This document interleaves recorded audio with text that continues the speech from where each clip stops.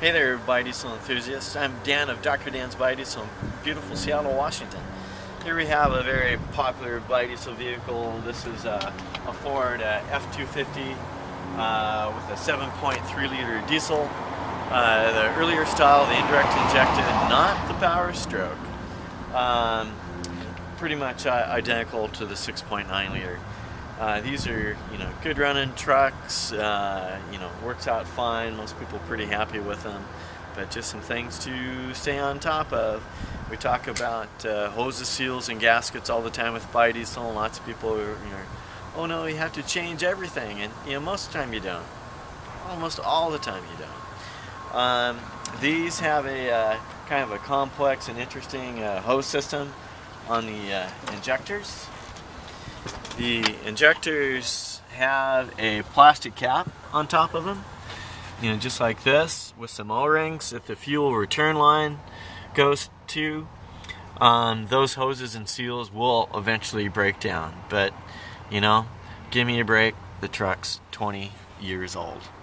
Is that right? Yeah, truck's 20 years old. My God, I'm getting old. Um, and it's uh, it's quite the job to replace those. Uh, it's almost all the job of pulling the injectors, so that's a very good time to, to do that, to get your injectors rebuilt. Almost isn't a, a vehicle out there that doesn't need that done. They just run better. Uh, you have to get a injector installation kit to get the little plastic caps and O-rings and then you have to buy some different hose. You have to use a biodiesel compatible hose there's all kinds of it out there now. Uh, Gates, Trident, Dayco, uh, some other brands too. Uh, you know, it's kind of a, a tedious uh, operation. Um, but once you do that, you shouldn't have to worry about it. Uh, as with any vehicle, you want to make sure that you have lots of good, clean, filtered fuel. That means uh, don't run it with a plug filter. You run it with a plug filter, you can cause all kinds of trouble. Uh, the truck can quit running, it can ruin the injection pump, uh, on and on and on. So to uh, change the filter, it's, it's just a, a simple uh, screw-on filter right there. Uh, unscrew it, and uh, we like to pour the fuel that's into a clean container so you can see what came out of it. Uh, you want to make sure it's just 100% fuel, not dirt, water, bacteria. Anything else is bad. People ask, well, what? You know, what's bad? Anything that's not fuel, anything that doesn't look edible. If you wouldn't drink it, your truck doesn't want to drink it either. Um, the uh, and you want to make sure that you change it soon. Don't wait till the truck quits running. That means you gotta tow it somewhere, uh, and then these are a pain to bleed. There's no real easy way to uh, to bleed these.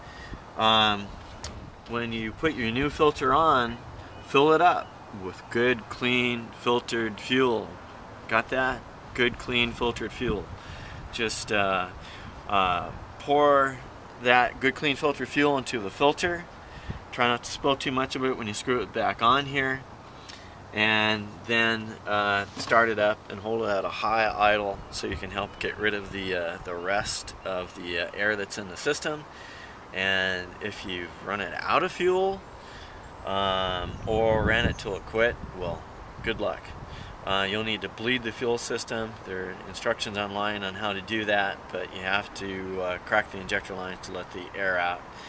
Um, but anyhow don't do that. I'll wag my finger at you and uh, these vehicles have a dual tank system.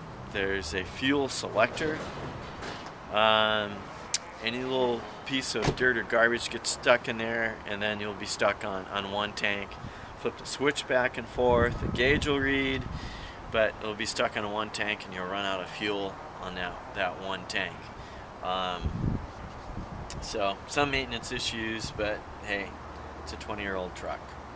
Uh, things do get old. Doesn't matter how shiny they are on the outside.